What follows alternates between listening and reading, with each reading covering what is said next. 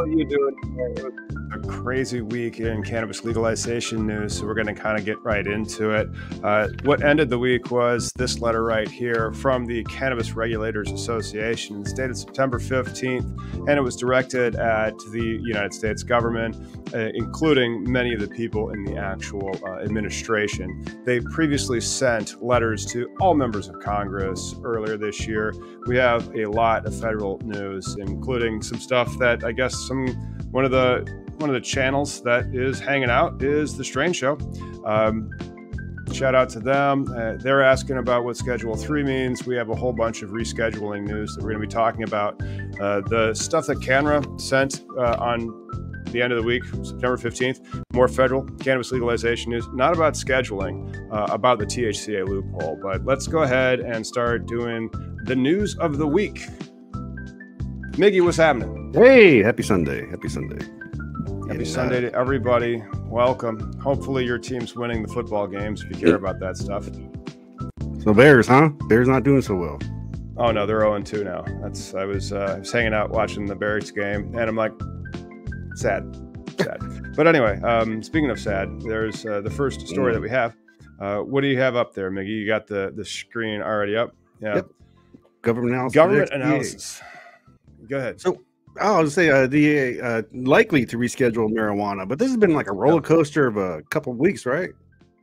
Not really, not really, man. Uh, you see what it, how it's built, how the Controlled Substances Act is built, or the CSA. You know, because usually I don't say the name of a law without then creating a definitional about what it is, and then referring to that definitional later in my conversation. Sure. Um, right, uh, and so the other thing is resize this, dude. But um, what they are saying is that the HHS gets to find the facts. Thank goodness. Mm. And then the DEA has to listen to HHS for the facts regarding the science. So if the HHS says that it does have medical use and it mm. should be in Schedule 3 because it is no longer finding those facts that kept it in Schedule 1, therefore the DEA should then deschedule. Also, Merrick Garland is in charge of the DEA. He's the you know uh, he's in charge of the whole Justice Department. He is the Attorney General of the United States. Uh, as a result, if anybody in DEA is like, well, I don't want to, he could have him fired. So uh, that's one of the reasons why it is extremely likely that, like our, our dispensary, and uh, I don't have tune in next week. I mean, we can go over the financial model, but we got an offer, dude. Sweet. So it was a pretty good one. Yeah, I, I got a pretty cool idea about that too, but like it's a more of a like jokey joke. So I was thinking we do like a, a GoFundMe Kickstarter, right? We're gonna call no. it People's Pop Shop. oh God, no, no, absolutely not. We're shutting that down before it even gets started. Tell you what, we'll A/B test this. We'll do what I want to do, and then we'll do that too, and then we'll we'll count the monies after like certain increments, like quarters, quarterly. We'll count the monies. Dude, let's say. I couldn't even yeah. raise money when I lost my job, so I couldn't even imagine just trying to have a fun money thing. But this Schedule Three, though, you know, like you know, there's been talk about this for what two, three weeks now, where it came uh, out uh, pretty much about two weeks ago. Yeah, it's yeah. crazy. And then like the the, the hoopla though, the, the people uh, upset about it, which I, I get, right? Ideally, this should be just unscheduled, like alcohol, right? This would be like cigarettes, right? That that that that's the ideal. Well, but, again, what go to your cigarettes, everybody who's smoking them, and then crush them and you're going to throw them away. But before you do, turn them over and see there will be a stamp on the bottom of that pack of cigarettes and and they will say taxes paid. And so every state still affixes their tax stamp. They still get to wet their beaks and that is exactly where we're going in cannabis. There is going to mm-hmm. be some form of tax stamp for which is interesting considering the 1937 Amer- uh, marijuana tax uh, act but at the same time moving into the future uh, that Schedule 3 is going to hopefully be exempted by a Garland memo that he is currently writing.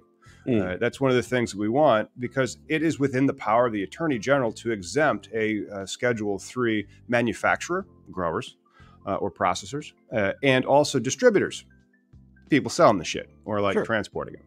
Uh, and if they did that, like if you have a state license, you can register that state license with the DEA and then you will be exempted. Uh, you, wonderful loophole because then otherwise then, then you don't have to go to CVS. then it's not uh, pharma, pharmacopoeia mm. weed, you know. Uh, and provided that this, and then then not only that, the states get to win because you don't have um, this source of revenue that they've all banked on just getting shut off and having to get yeah. how much like money in terms of like sales tax revenue does CVS bring when they come or like Walgreens bring when they come to your city? Like you don't have to have like a host community agreement for a Walgreens. You know, mm-hmm. you don't have to like say we're going to give this much, and then you're, and then the communities also like we open up in uh, where we're opening in Peoria County. Uh, they get three percent, and you don't get three percent from Walgreens. They don't want that. Well, I mean the the Walgreens thing is, is, is something, but again, we're talking about trying to protect the existing markets, right? It's not like not like rescheduling to schedule three like creates a new market. It, it just enables protections right? But but also it's kind of like like like uh like here in washington state when we first legalized uh, cannabis when it became the the law of the land for recreational use one of the things was the the dui thing right? Like people cried about like how are we going to enforce duis and all this stuff but you know it's kind of like how they're already doing it right? Like like like people get caught and things you know people do stupid stuff and and those are the ones that are the bad players. Whereas i you know for the most part you know like for me activism has mostly been about the cannabis consumer just wants to be a law-abiding citizen. There's no special like thing about it. I mean it's medicine. It's also a fun friday night. So you know that's it, but it's going to be scheduled and so if it's scheduled and it's schedule three and it's also a fun friday night and there's all these state licensed actors currently there if you could exempt them and give them a pass until the regulations or maybe that's part of the regulations it's mm-hmm. regulated at the state level and so for this particular plant which again should be in generic status remember we were doing the podcast when the patent 663507 like I'm sorry, I think I, I missed a nine in there, uh, expired. Uh, yeah. That was interesting that we're like, we're like, you remember the patent with the cannabinoids and neuroprotectants and antioxidants? I'm like, yeah, and we pulled it up and it was going off patent that day. And yeah, so it's yeah. been off patent now for two years. It's generic. What are you going to do? Like, this isn't Oxy. It's not, you know? Well, and also, no matter what it is, though, it always comes down to like someone willing to put their money into it take an adventure that they're not going to get. Well, rather they would pay the fines in the end versus going to jail, right? Like that's what we're talking about here. Uh, you know, I shared with you that some more news uh, video. I don't know if you've seen yeah. it, but it's titled "Hey, how's the legal week going?" Something he brings up in the beginning of the video, which I wanted to ask you about, like right now, because we're talking about the the uh, the Cole uh, uh, memo and all that. Is you know all that is part of the yearly refunding, right? So if the government goes you know ghost for a while with, with no funding does that mean now they can actually arrest people during that time because no, the memo hasn't been renewed yes the yeah. Rohrabacher Farr protections expire at the end of the month, everybody. So if you're Seriously. operating a medical license in Oklahoma and think you're fine, yes, until the end of the month. And so that's but, why we have to fund the government. But that's, you know, part anyway, of strange shows like asking though. about that. Like, uh, the average grow facility even pass the regulations for a Schedule Three manufacturing facility? No, like Ooh. very few people are building to that level of compliance. That's why you need to exempt the industry for the interim. And so everybody who has a state level license would then be exempted so that they are okay and whatever they're doing is not a crime. So if you read Schedule, yeah. um, if you read Section 823 of the, of the CSA, the Controlled Substances Act, you will see that the Attorney General has this power to exempt uh, the manufacturers and producers I apologize, it's the same word. Manufacturers and distributors of uh, hmm. the uh, the Schedule Three substance, and and that means that in this memo that hopefully is coming from Merrick Garland, you will be able to say, look, I have a state level license. Uh, I'm exempted for right now, and uh, it might only be for that that fiscal year or until regulations from DEA get in place, which may take two to four years. How long did the, the hemp regulations take after it was legalized by the 2018 Farm Bill? Fucking years. Uh, and then here we are now, and that's like we're not going to talk about this aspect of how the industry could become even more profitable unless you're in the THCA side. Uh, but it's not going to be the worst thing in the world.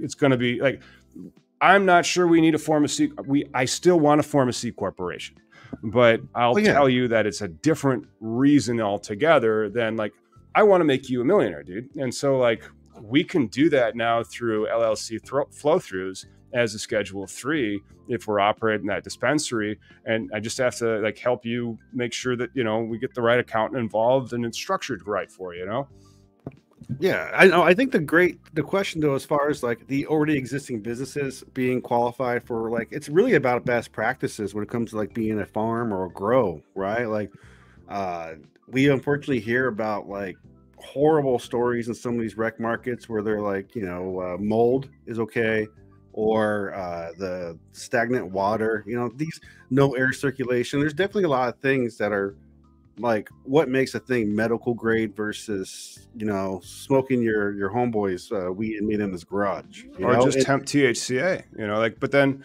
that stuff still has to be grown pursuant to a license. I tell you, the next story we should probably get into. We're yeah. gonna burn on to three twenty. I'm sorry, four twenty before we can get there. Do you have the next one already up? The I do. The 14 yep. GOP congressional lawmakers tell DEA keep marijuana in scheduled one. Hey, my thing's not popping up. Uh-oh. Uh, Let me see if I can help out real quick. Then let me just do a share screen window. Uh, Oh shoot, I have the show notes up. Let me move that to over there. Ah, you hey, there we go. so, anyways, uh, reject top health agency's recommendation. So the Republicans don't believe in science as usual. It seems. Um, I hate to say it, dude. That you know this is a two-party system. Like, period. Right? Like, I don't try. I know you're a Democrat, and like I'm just like always been an independent since yeah. I could sign things. Like, I just didn't want to. I don't have faith in either one. But as a gamer, to to to see the present thing that's in my best interest, that's just all the Democrats right now. And so, coalition of 14 Republican congressional lawmakers is urging the Drug Enforcement Agency (DEA) to reject the top federal health agency's recommendation to reschedule marijuana, instead keep it the most restricted category under the CSA. It's like heroin. Yeah, yeah, but like, how many of those 14 congressional Republicans are doctors? If I was going to be a betting man, and I don't like to be, I'd say zero.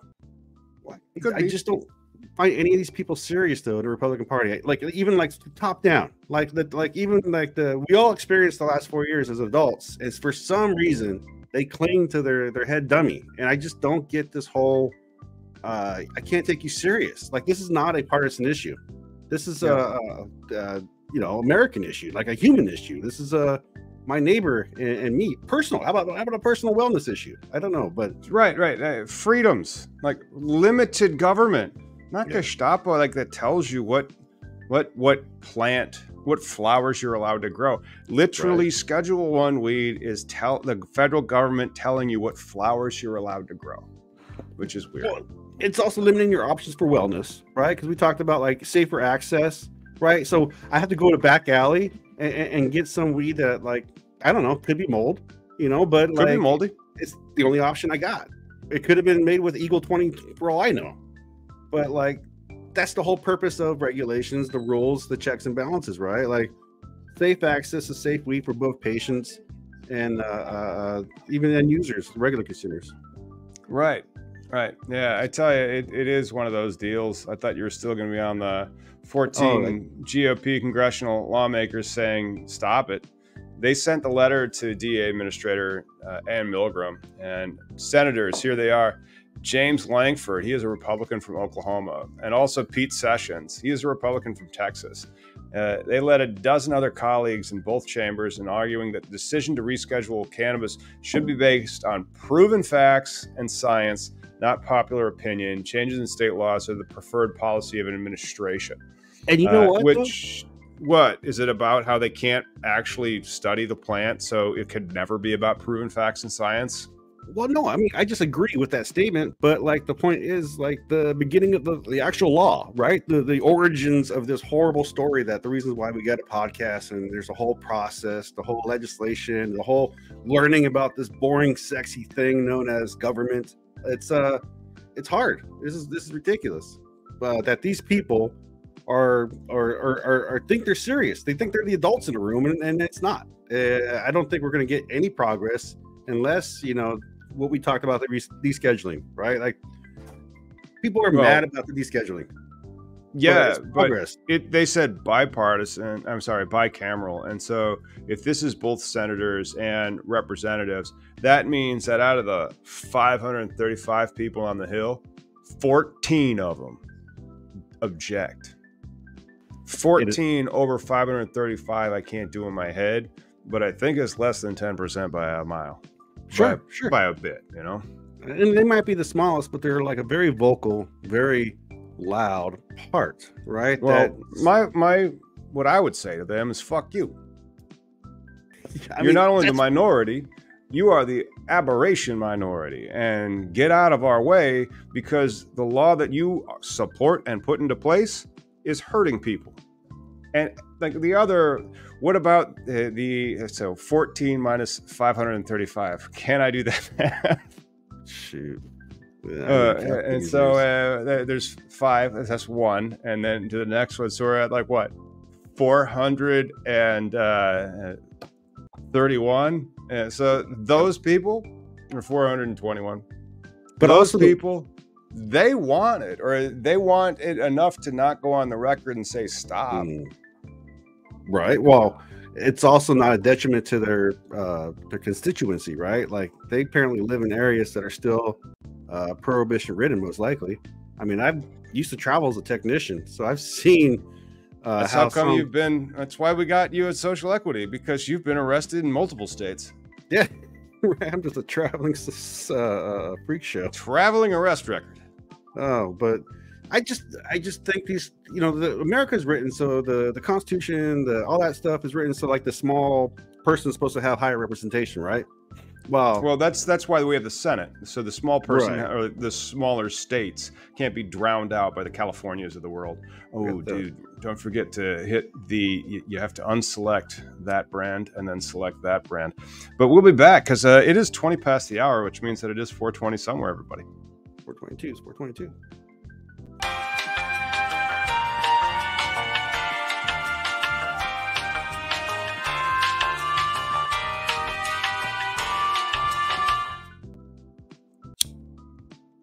We don't have an You know what grinds my gears?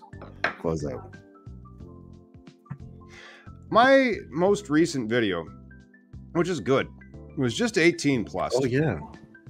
but by the time we like uploaded it and so like a lot of people have not seen it yet because it was 18 plus like basically immediately and and the guys over at playstack who are the producers you know uh, they do a great work but they have shit i own this um and this is why i think it happened um because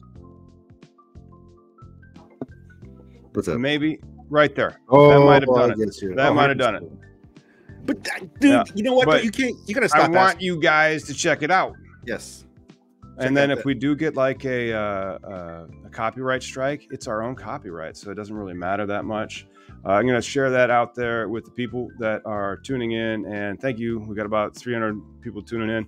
Yeah. Uh, we have maybe uh, what was that called? The Strange Show was tuning in earlier, Yeah. asking some questions. Strange Show, if he hit us up on email, we'll be having them on soon. We're gonna have DOT Doctor. Uh, that I don't believe is the name of his stuff, but it's Doctor Newsy, and uh, he's gonna be coming on. I think next week to talk about um, how what what does Schedule Three mean for all the truckers out there, right? Mm. Because that that's a large population. It's like two more than 2 million employees have a CDL license. And he has a, a channel that's directed to them. Uh, Strange Show's got a channel that is directed for like weed. He does a great Yeah. job. Wonderful production value as well. Uh, and so, yeah, it, tune in to Cannabis Legalization News. Hit the uh, subscribe bumper, and then we'll we'll get into the next amazing story of the week, which may actually finally be this this one that I, I got the letter from Friday. And it's and it's it's been happening. Like last Friday, this case from Arkansas about uh, Delta Eight. The next Friday, this. I mean, what's going to happen next week? Who can tell, right? Uh, which one was the next one? Do you have lined up? I don't know. I did not get to. Uh, Oh, the next one's supposed to be the uh, the DEA misspoken about the uh, the Uh, director. yeah, let's do that. and I'll I'll go over the the larger things just to see where that that is, because then we can. Oh, there it is. It's it's under more news. We'll be fine. Oh, got you. We'll be at fine. the end. Yeah. Yeah. But uh, yeah, the, I, and again, this is that's what I was talking about. Like it's been a roller coaster because you know you hear uh, you know whistles of like it's going to get rescheduled, and then like the DA says, yeah, my bad, I I, uh, I spoke ahead of time, but like you know it's going to happen, and I hope it happens before the election because I think that would be so beneficial to like furthering the the progress of regulation legalization here. You know, I mean, Yeah. yeah, Um, no, like, okay, we have been doing this podcast for a little bit under like four and a half years. We started in February of 19 because I was bored and was trying to make a dollar and 27 to pay my bills. And um, so, what we've seen since then are several administrations uh, completely derail legalization in their state. And I think what they're going to try to set up and cast the 2024 election as will be that this complete derailment of all the progress that we've made toward legalization if the wrong person comes to office. I don't think Trump is the person who would say that he's going to derail it, but DeSantis. give- Oh yeah. Well, he said that, but I just don't think it's not so much either Trump either because I mean he did sign the farm bill, but like it's just didn't know what his he was leadership. It's Yeah, not gonna, huh? He didn't know what, like when nobody yeah. knew what they were signing the farm bill, man. But look, look, we both know the guy just signed shit, right? Like even when he signed the uh the truth, the, the Freedom Act Signs for, uh, And Yeah, then I he mean, like, goes, he's told this is the greatest thing I ever. signed that? Like, yeah. but like you know, he did do some shit only because it made its way to his desk. It had nothing to do with the man's like integrity or uh, you know, like It, it wanted to. It was brilliant because it showed that he was doing something, yeah. and so he Yeah. understands how to look like you're doing work. If you understand how to look like you're doing work, we need to have um, more giveaways. Uh, here, get a copy of the book that I wrote, eh, which is why Miggy found out who I was. Uh, you can do that by giving us a super chat or some type of sticker or other monies that you throw at us for shekels, and then we'll notice it, and then we'll be like, "Hey, you're getting this. Where do we mail it to?" So what's this uh, social equity incubator you got going on?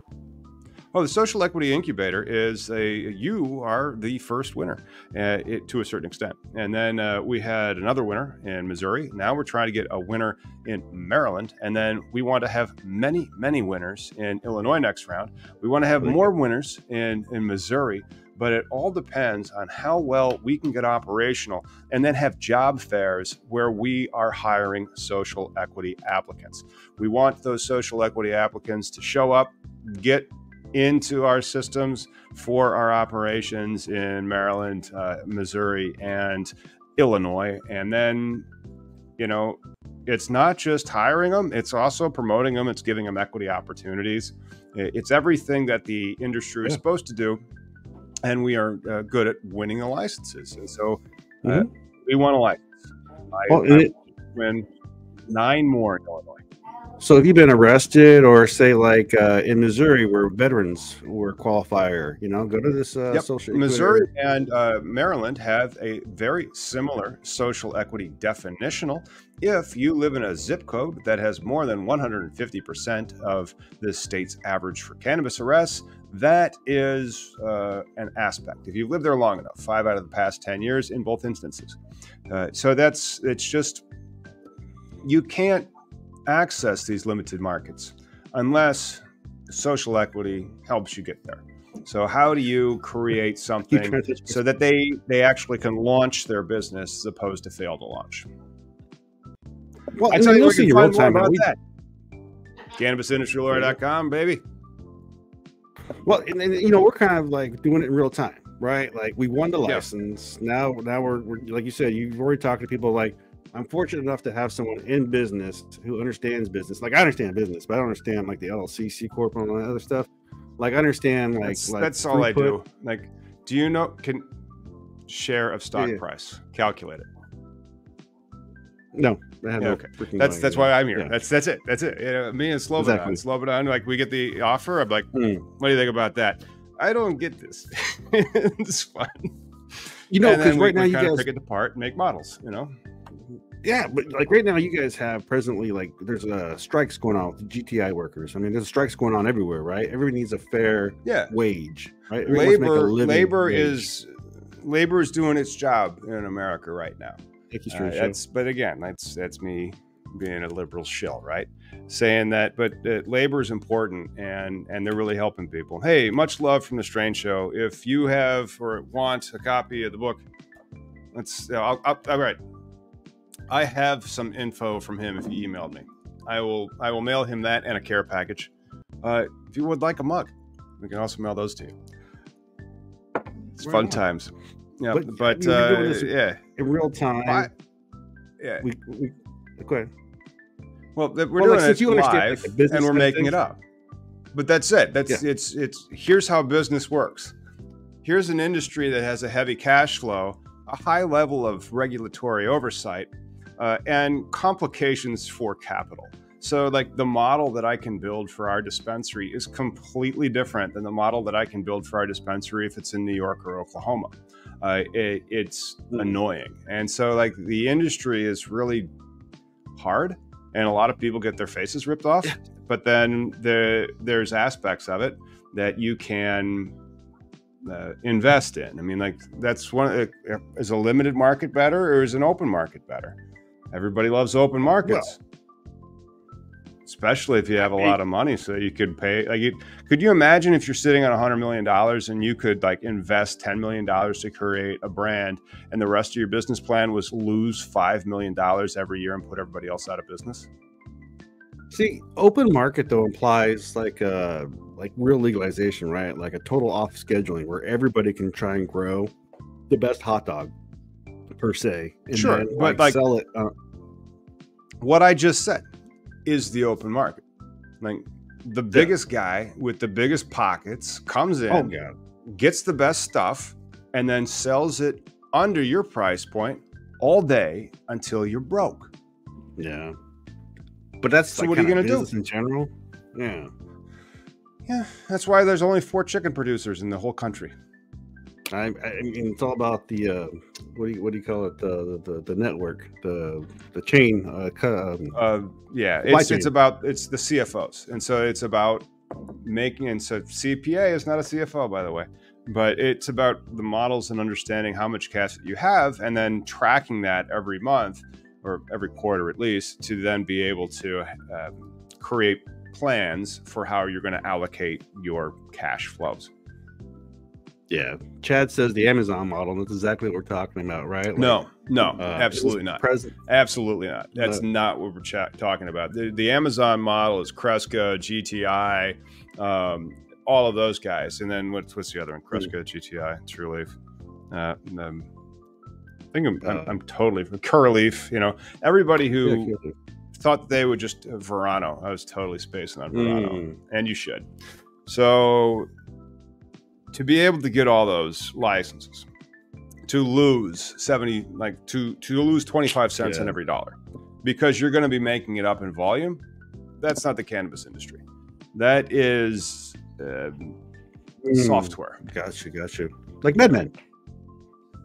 No, MedMen too, right? No, MedMen were the MedMen were really, really full of themselves. And so what MedMen did was overpay mm-hmm. on assets. And so they would overpay on leases and also on buildings to be in prime real estate. Oh. And then they wouldn't be able to keep people coming in, but also like that cost that was over there on their head the whole time would also prevent them from having like specials and other things to make sure their customer felt like they were first.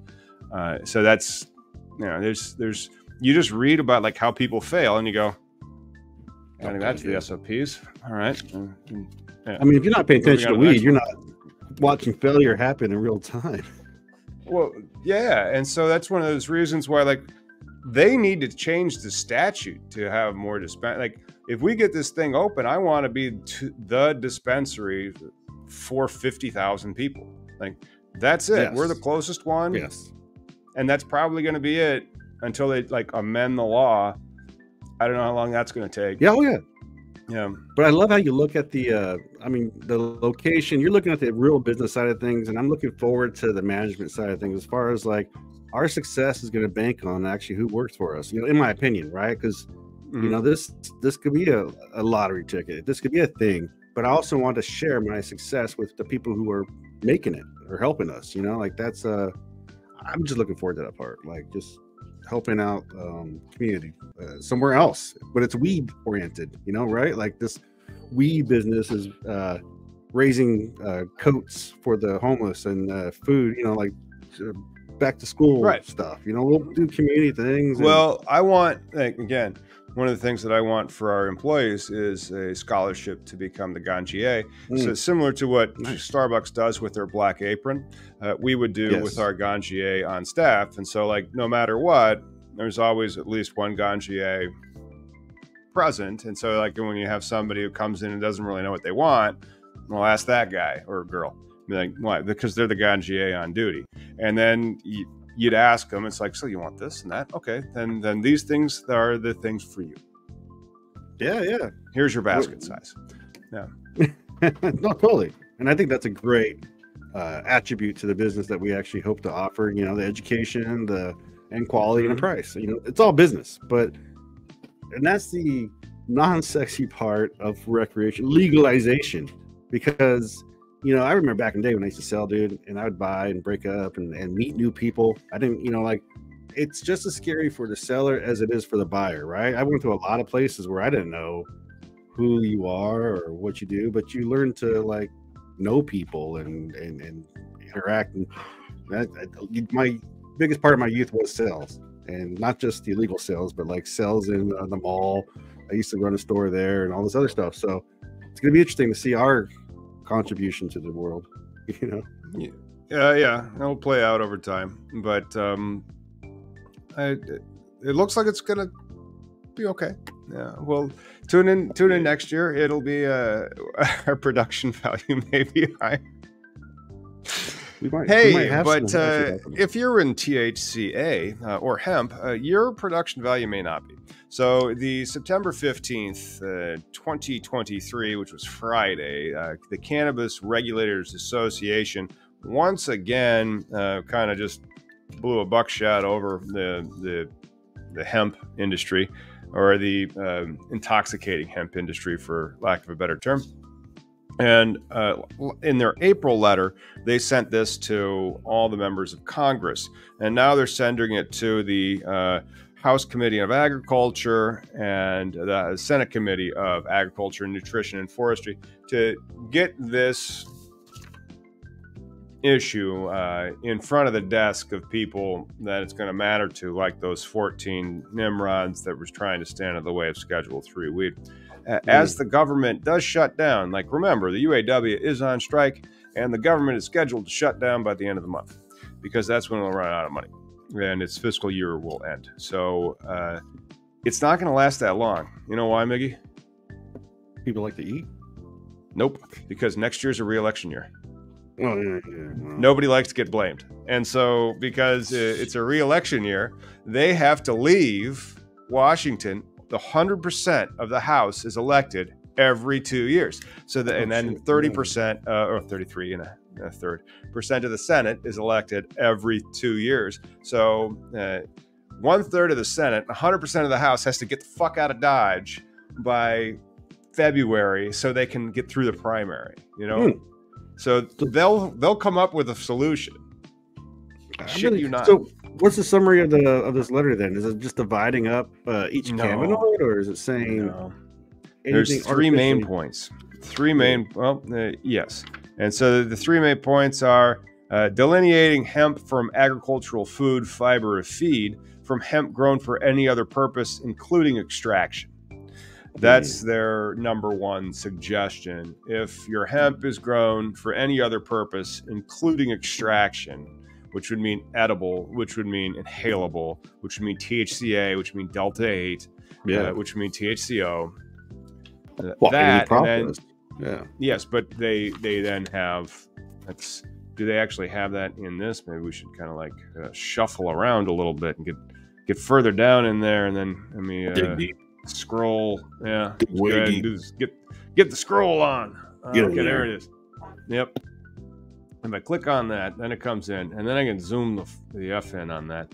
And so here it is. That's the thing. The, and then Nobody likes this. They are giving these schmoes that get to write the farm bill example stuff they want to become federal law. These are their definitional suggestions. Three people. Right. So hemp would not move. And then it does say uh, tetracannabinol. And as you can see, there is no uh, uh, delta, there's no anything. It just is THC. So, like, talk about total. Yeah, well, how about we just say tetracannabinol? Concentration of not more than 0.3%. The term like hemp a- does not include viable seeds. And so, right there. It's, it's just like another organization limiting a plant that doesn't need to be limited per se is I, the true. definition. True, right, but we still have not analyzed this bullshit. Yeah, yeah. Because what also do they say? Hemp does not include viable seed from cannabis if that exceeded total of total tetracannabinol THC concentration of 0.3% in the plant on a dry weight basis. So that completely shuts the THCA door hard.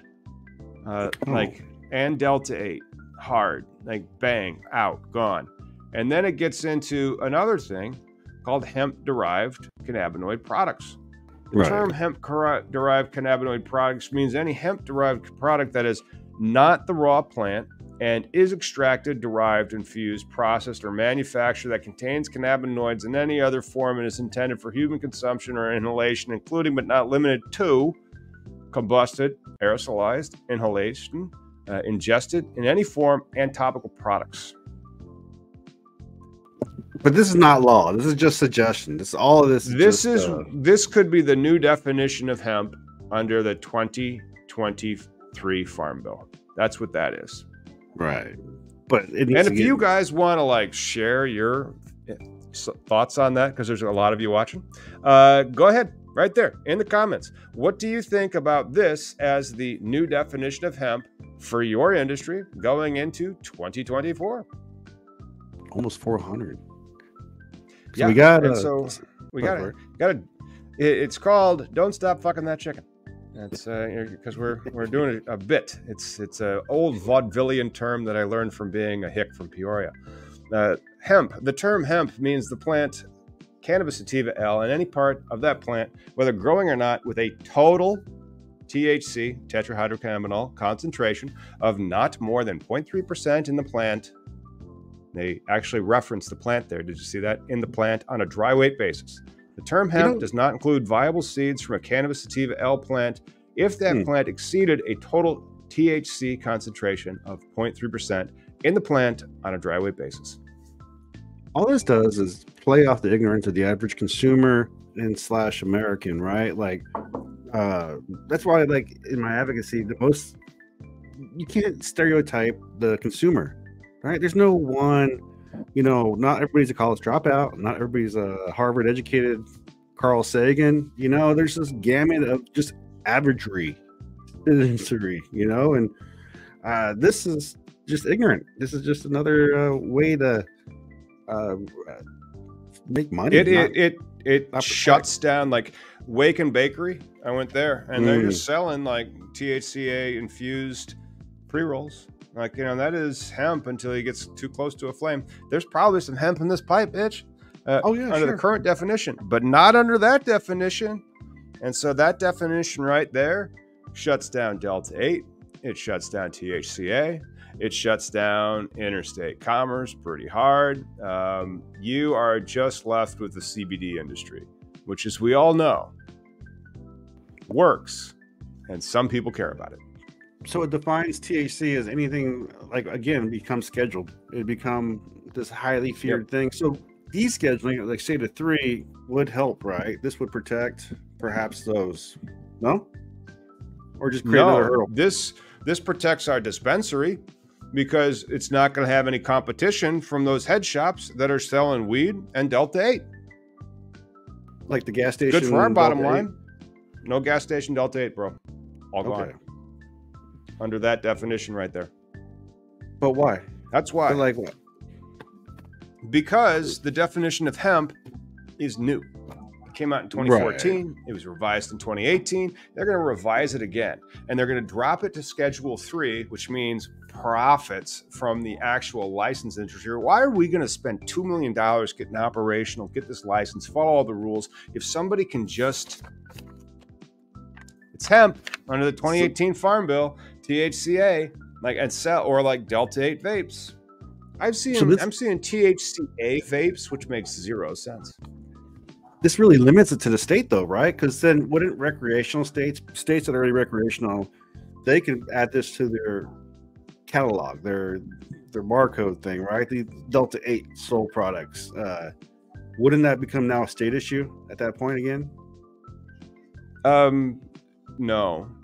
The feds say what weed is and what hemp is. And so there would be a line in the sand about what's Schedule 3 and um, if you have the license to use it or sell it. Yeah, well. And what's I, what's I, unscheduled. And so they're going to make a clearer distinction because there's a like nobody will tell me that there's not a huge gray area currently in the cannabis industry with hemp, oh. with how the definition is. And sure. that definition that they just sent on Friday to the Department of Agriculture uh, committees. They aren't the Department of Agriculture. The people that tell the Department of Agriculture what the fucking law is, which means Congress finds the facts. And so yeah. these definitions are the facts of your ass, you know? Uh, who is this yeah. kind of regulatory body? Like, who are these advisors? Like, okay, you know that that's another question. There's the signatories. We're going to go over the yeah. signatory page then. Let's go over the signatory page of these people who may be responsible for redefining hemp at a federal level and changing laws, right? Gillian Schauer may have mispronounced that. Uh, PhD, Cannabis Regulators Association Executive Director, basically the CEO of the charity. And then you have William Tilleyberg, that's the president. And then you have a president elect, past president. So they've adopted a strict, like a, a standard of vanilla corporate structure. Like the ISBA has one where you have like the third vice president. So you don't run for president, you run for third vice president and they groom you. But this is a made up body, though, right? This is just uh, people. Correct. It I is a corporation. Like... It is a it is an oh. organization of Cannabis Regulators Regulators Association, and here are all their chapters: Alabama, Alaska, Arizona, Arkansas, California, Colorado, Connecticut, Delaware, District of Columbia, Florida, Georgia, Guam, Hawaii, Iowa, Kansas, Kentucky, Louisiana, and basically every other fucking state that has legal That yeah, is who deals with the industry's ass. And I, think, again, these guys in Congress are going to listen to them. They Which is unfortunate. They aren't slouches. They, these guys are they're still boneheads that are have uh, self intentions, right? Who who they should be listening to be like organizations. It like sounds like or, you're trying to make yourself poor, Miggy. If that happens and that becomes the law of the land, your cannabis license is more profitable and I might make you another $250,000. How do you feel about that? Yeah. You, does that change your opinion at all? Oh yeah, it's still pretend money, man. But even then, I think I just want like that's how it works. I, w- I just don't think like uh, a quality will will speak more beyond you know like an experience slash uh, product uh, is better for my name, right? Like it's kind of like the whole internet game I've been playing is you know, somebody a long time ago asked me, like, hey, how can I, you know, do what you do? And I'm like, for the most part, everything I've done has been voluntary, like uh, activism type bullshit. Like even this conversation. Yeah. The reason why we do this every Sunday, you know, I do it with you is because I wanted to talk about weed and, and talk about the right. the process for legalization, which you know we could sell the license probably for like two to three million dollars and again, at that point, when we see money cross hands, our, our content will get a hell of a lot better. Well, again, uh, I do this for a living, and so like I, I need this for um, merchandising, like marketing. oh my goodness, I'm not sure if you watched "There's Only Murders in the Building," but Mel Brooks was on the most recent episode, and it was hilarious. So if you have not seen the most recent episode of that, um, so was Matthew Broderick and so they okay. made a producer's reference. Um, mm. Just made me But- laugh real hard. it's it's still education that we do, right? Like that for the most part, everything that we talk about is always education on the process and what it is, and the state and the plant, and uh, you know, like right now, you got the uh, the senators who's pushing the pass the cannabis, the safe Bank- the banking act. Yeah, more one- federal cannabis legalization news uh, and Yeah. more of the fallout from the rescheduling of cannabis news. So, after cannabis rescheduling, do we still need safe banking? Maybe that that would help. I would imagine Uh, so, right? Because the words, huh? Again, Yeah. the the, the laws that we're Well, what it- violating. established? Go ahead. Establish what? No, I just I I, I just think like the uh uh the like for like the the, the, the what's the 180e for the you know business side 280E. like the That The only tax- applies to Schedule One, Schedule yeah. Two. So, like, as soon as it goes down to Schedule Three, Hmm. like that's one of the reasons why we Oh. don't have to become a C corp anymore. And I'm like, we still should Oh. for other reasons, but uh, oh. if you just want to put the money in your pocket, you don't really want to be a C corp. no, but uh oh, I didn't realize that. So at Schedule Three, we don't have to worry about the we we become exempt or whatever it is. Uh, it, it- the the the law does not apply. So the penalty does not apply to you, and so we can deduct that contract that I'll write to Stumari to do all our SEO and and Mm-hmm. and our production value for all this stuff, and to, to just to build like an IP network of Okay. because I already- we got like six leads over the weekend. Now imagine that we had a tailored system to take those six leads and just help them give us their money and and, And again- and get them a cannabis license. this, this- it- it- this is how you make your living, which is all good, man. I, I, I totally like, you know, you have another Literally good ten, yeah, Yeah. Uh, but you know that the, the the safe banking thing, I didn't realize would only help if the plant was scheduled one or two. I didn't realize. No, that's Um, that's the that's the double tax of IRC 280E. Uh, Mhm. And so let's imagine we go to Schedule Three, and the the Garland memo never happens, and so we're not exempted.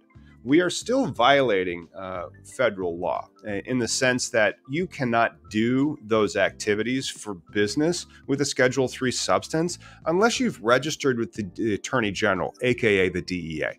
And, and so there's no process for you to register for the DEA other than like Walgreens and CVS. You know, like that's how we do our controlled substances with drugs that you go and you pick up. And that's why they that it, it works that way. It's a highly regulated industry called pharmacy. Mm, So this would be like an exemption or a, no, a new regulatory rubric that we would have to engraft. Harvard word, by the way. You know, thanks for tuning So- in. Uh, yeah.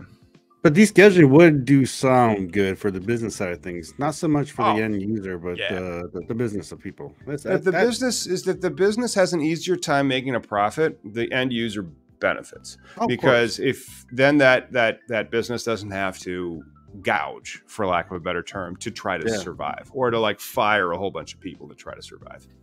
Well, and, again, cannabis will eventually be like broccoli, uh, you know, because everything's just be. so overtaxed and over. You know, it'll get to the point where it, it's passe. It's not a, you know, it's just a, plant that people either use for medicine or just uh, have a nice day.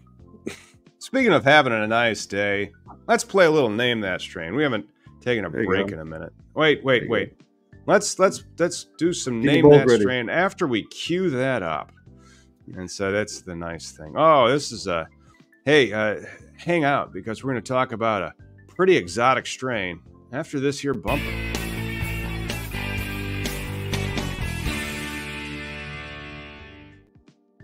Got this at a Canicon. There it is. Bang. Ooh, what? Got that from Respect My Region.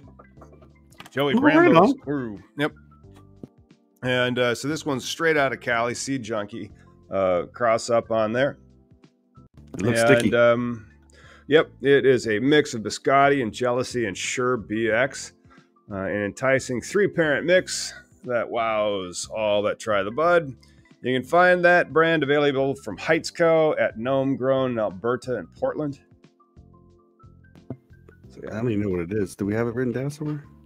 Yeah, yeah. I can put it to you in the private chat and or somewhere else. Moon Oh, shit. Oh, dude. nine got it. Shit. Yeah. at nine. Yes, Hyatt Nine. Shout out to him. He manages a uh, dispo in WeHo, uh, one of like the most historic dispos in WeHo. So go check out Hyatt Nine if you are yeah. uh, a YouTuber watching us, and then don't forget to check out that one we just did. You have to be logged in and over 18 plus. So, so Jason it, it Beck did not have a good launch. What's up? That, Jason Beck, that's the gentleman behind Hyatt Nine and uh, the one who runs EHO. Uh, WeHo. Uh, he, he he he knows uh, uh Rohrabacher. Like uh, they came oh, by cool. Hempfest and uh, Rohrabacher, old old dude, but like apparently he still surfed and stuff at the time. Which when he was like when he came by, this was pre-COVID. Seemed he like he was like eighty still. I don't know how old dude is. Looks like he's always old, but yeah, he's up there like with the constituency and stuff like that. Which you got to follow. Got to check him out. And then there you go. And so maybe like again, if we had like dispo money, uh, we could turn the cannabis legalization news into more of one of these things. We'd have to hire somebody, and we would have tons of these videos that it says like you can't watch this. Uh, but that's that's pretty fun. And, so, yeah. and again, yeah, that's just pretty weird though. Uh, it's uh, it is a new exotic that's kind of burning it out from uh, Cali, and then it, it usually makes its way all over the United States after that. Is it a indica sativa? What's the write up on that? Let's see here. It is. it's an exotic, and so like it really doesn't have an indica or sativa like okay tag on it, but it's like you know it's a high potency cultivar from LA, released in June 22. Bred and grown by Seed Junkie Genetics, JBeezy, and hand selected by Doja Exclusive, building up the hype. Um, and then several other brands, including Heights Co. and Portland, has it. So they probably talk about their parents, but it's it's a very high THC potency, so like 29 to 35 percent. Yeah, so there's really nothing that says indica or sativa so far. There's purple and orange hues, so that makes me think both, because you have purple and then you also have orange. Yeah. What do you think about percentages? Like right now, I got this one in my hand. It says 29%, and I don't know what to think as far as like shenanigans. Oh, there's some right? baller genetics out there, man. And then there's some growers that like know what the fuck they're doing with nutes, and like sure. usually in it's usually in hydro. And so like I've seen it at Rockwool, and then some people say in Coco Coir too. And I'm like, sure. And then um the stuff just is ridiculous. And, and it's yeah. it's it very like the terpenes are just off the charts. Uh, so they, they've gotten very gr- good at growing very good weed. No, but I get. But those skills are like that's like the high that's like the one decile and so like there's other 90% of everybody else who has a license that's in there as well but yeah i mean like the, there's all quality is always going to uh, win but like when you're saying like 29% are you saying 29% of a gram that was tested is the uh was thc right so the testing you have to get you have to comply with the regulations and so you're going to test a lot and by lot I mean like batch of cannabis yeah. in compliance with the regulations, and then you're going to advertise accordingly. So if that batch that you test comes back particularly high, you'd like to label as many of your as much of your crop under that test that you can. Right. Yeah. But yeah, maybe I have to dig more into it and I'll do a show on it because I'm so curious right now. I'm, I'm, looking at my purple punch that I got and it says uh, 29% on. You said 35%. And I heard someone say once they call shenanigans on anything over 25%. So uh, the reference of percentages of the gram tested, is that what you know we're saying? Uh, is the percentage, you know what I'm saying? Yeah, like out of the sample set, 40% of it was supposed to be, or like 35% of that was supposed to be like THC, or 29% of it is. But that's what they're chasing. They're that's that's why they call it an exotic. That's why they grow it how they grow it because they're chasing that yield and potency. Oh, sure. It's, it's, it's like, you know, the guy who ran uh, in the 100 meters in the most recent Olympics was probably the fastest guy that ever ran it or one of. And so the records keep getting broken, you know?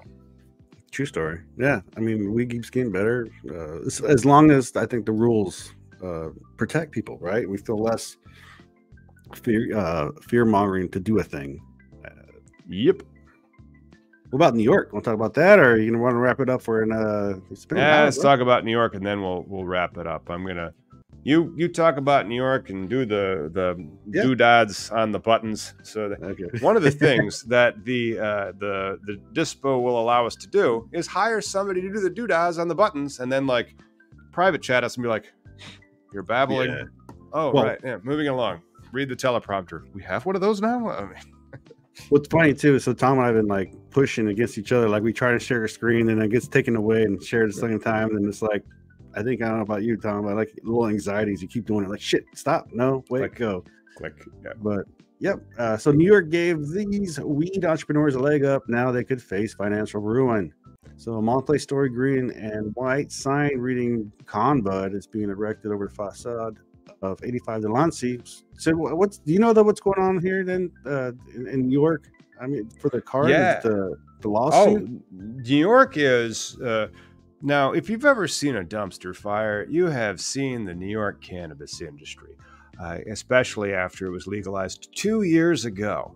Uh, there are numerous lawsuits involved in New York because their regulators created a completely new license that was not found in the statute anywhere and then started awarding them and opening them. So there are people that have legitimate injury and harm on both sides and trying to undo that uh, uh, administrative overreach beyond the grant imposed by the statute. So much so that lawyers are calling for the statute to be amended to try to moot the claims. Uh, is is just epic to watch, especially when you consider it's just Michigan. Well, this is something we're trying to avoid too. Once uh, uh, you know we do business, so the Gotham spoke yeah. to half a dozen CAURD license holders about what they have at stake. Some borrowed money from family members, put down healthy, hefty deposits of real estate, and inked expensive contracts while putting their personal finances and other business on the line. So, it seems to me a lot of people got invested and were told the doors were going to be able to open at one time, and then the doors didn't open. So, between contracts, construction, security, marketing, inventory, uh, one person and his two partners have invested a million dollars, which I couldn't. You just can't piss that away, right? This is why the Cresco no, the industry the industry costs money.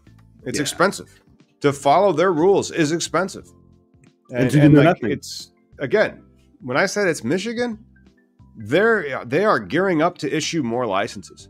There oh. is nothing standing in between you, an operation. If you're the social equity applicant, at all. Like hmm. you are getting into Michigan. Michigan is give me a hundred million dollars. What are you going to do? I'm going to spend ten million dollars to create the best cannabis applic- like you know uh, manufacturing thing that I can in Michigan, and then I'm going to lose twenty million dollars putting all of my competition out of business. And then I'm going to spend another $10 million after they all go out of business to acquire all of their assets. And then I'm going to spend another $10 million on branding. Mm. Well, right. Yeah, I mean, that's that's the that's New York. Get, well, and also, didn't they initially also like give the licenses to equity people first, right? People who thought they had a chance, and then now these lawsuits right. trickle in, and then actually put a hold on their their product. What do you think? Why did they wait so long for the, the lawsuits to, you know, to enact? Why didn't they just standing? Mm. Like you have to get wronged to file a suit. Okay. Right. I see. I see. So things yeah. had to happen first, and then you have to wait, and then you can be all pissy about it. Yeah. Correct. There's procedures. So you don't want to get dismissed.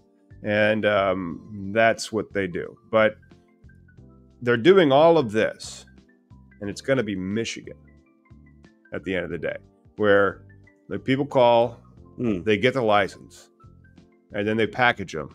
And so then it is really, it's like it's like owning a bar or restaurant.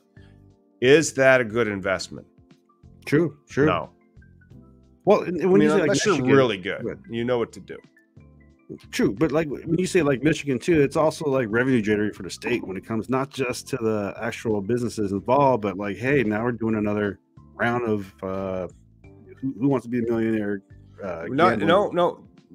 There is a difference between a limited market state and an open market state.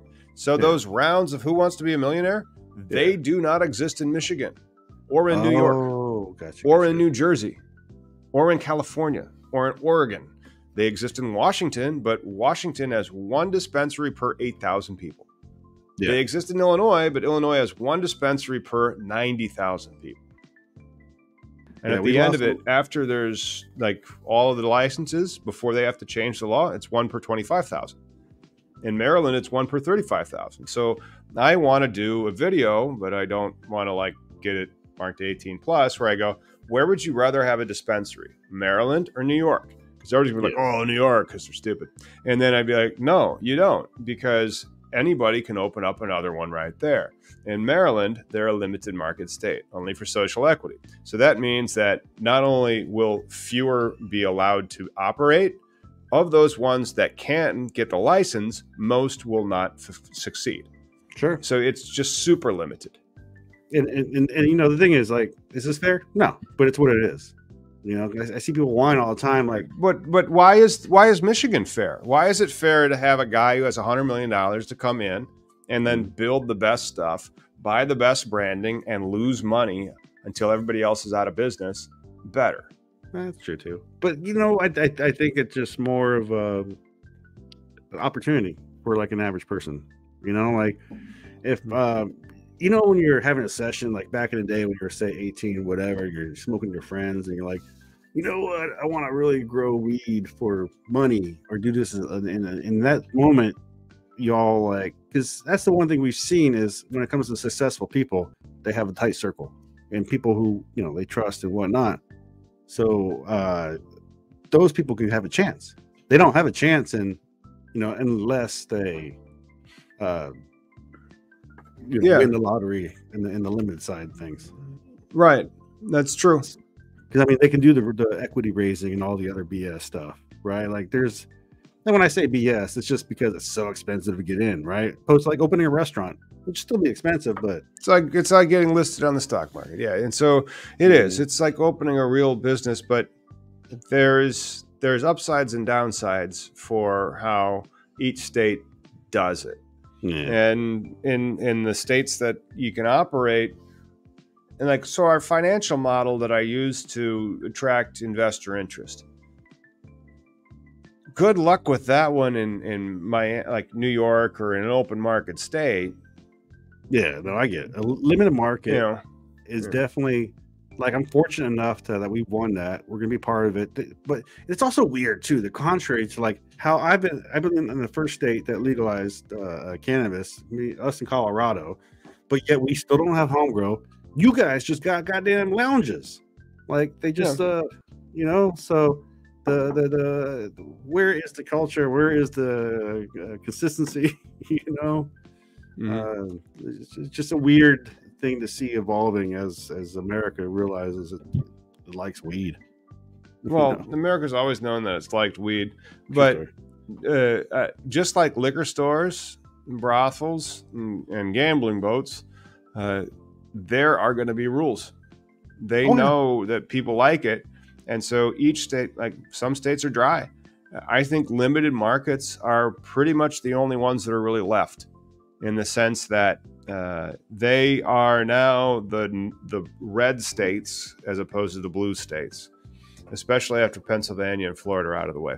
Hmm. So you have to kind of understand how they regulate liquor and how they maybe try to make it uh, a more controlled environment. And if it's more controlled, it's going to be more limited. Only so many people will get the licenses.